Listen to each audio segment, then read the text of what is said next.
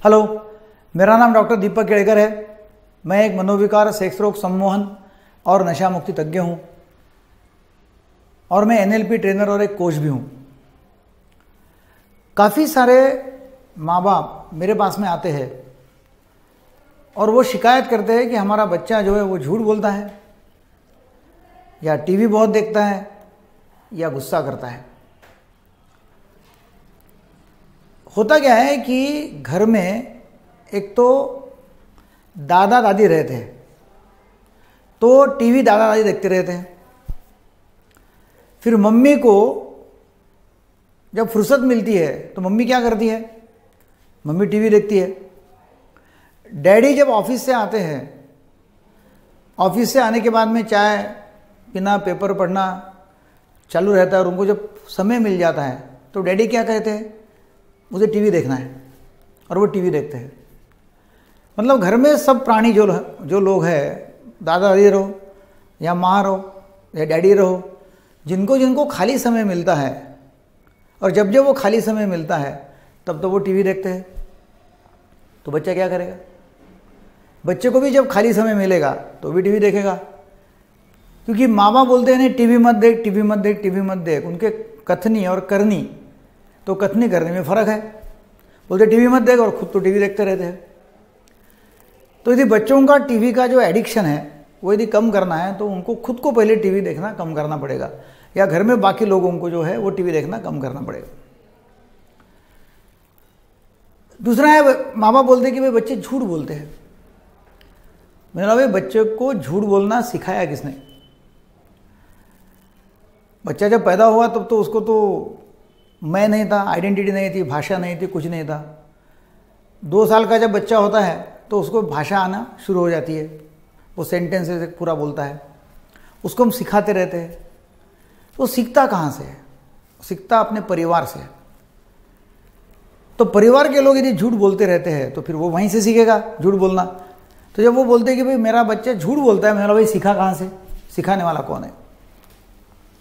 बहुत बार ऐसा होता है कि बाहर का फ़ोन आता है और हम बच्चों को बोलते हैं कि ले ले, तू फ़ोन उठा ले। और बोल दे कि पापा घर पे नहीं है। वो फ़ोन घर पे भूल गए। तो बच्चा फ़ोन उठाता है और बोलता है कि पापा ऐसा बोल रहे कि पापा घर पे नहीं है, फ़ोन घर पे भूल रहे और उसको डांट पड़ती है कि तूने ऐसा कैसा बोला, मूर्ख, अक्कल नहीं, तेरे को ऐसा वैसा बोलना चालू कर देते हैं। मतलब उसको मालूम है कि भाई पापा को जब बात करनी नहीं है तो वो झूठ बोलते हैं कि पापा घर में नहीं, जब उसको मालूम कि पापा घर में है।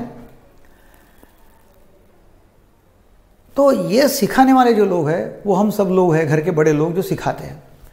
तो पहले ये देखना पड़ेगा कि घर के लोगों को पहले प्रामाणिकता से बात करनी पड़ेगी, सच्चाई से बात करनी पड़ेगी, तब बच्चा भी सच्चाई से बात करेगा।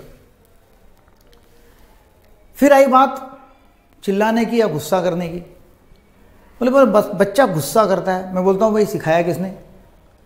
क्योंकि जब मम्मी को उसके मन जैसा होता नहीं है तो वो चिल्लाती है बच्चे के ऊपर, या पापा के ऊपर भी कभी कभी जब मौका मिलता है तो। पापा को जैसा मन जैसा कुछ होता नहीं है तो पापा भी चिल्लाते हैं घर में। तो बच्चे को ये समझ जाता है कि भाई, मन जैसा नहीं हुआ तो चिल्ला के काम हो जाता है। तो वो भी वही सीखता है। कि भाई मन जैसा नहीं हुआ तो चिल्ला के काम करो। चिल्लाओ, चिखो ज़ोर से, ताकि वो बंद करने के लिए कम से कम अपने को जो भी कुछ है वो मिल जाएगा। तो ऐसा बोला जाता है कि actions they speak louder than words क्या आप जो बोलते हैं, वैसा करते हैं क्या? और यदि बोलने में और करने में यदि फ़र्क है तो जो करते हैं, वही लोगों को ज़्यादा ख्याल में रहता है। आप जो बोलते हैं, वो कम सुनाई आता है। तो आज से ये माँ बाप ने प्रण करने का है कि जो बोलेंगे वही करेंगे। वॉक एज यू टॉक ऐसा बोलते हैं। और आपने अभी तक गंदगी करके रखी होंगी घर में। मुझे बोला वैसा करके कि झूठ बोलना, चिल्लाना, टीवी देखना तो उसको साफ़ करने के लिए भी बहुत टाइम लगेगा। आप ये करते हो तो डेफिनेटली आपका भी बच्चा एक आदर्श बच्चा बन सकता है कि जो भी आप जैसा करते हो वैसे ही करेगा।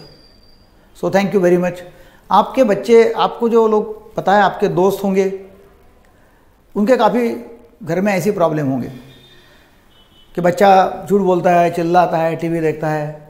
तो ये जो है वीडियो ये सबको शेयर करो आप। जितने भी आपके संपर्क में लोग होंगे व्हाट्सएप ग्रुप होंगे, या फेसबुक के ग्रुप होंगे, सब तरह शेयर करो, ताकि ज़्यादा से ज़्यादा लोग इसका फ़ायदा उठाएँ।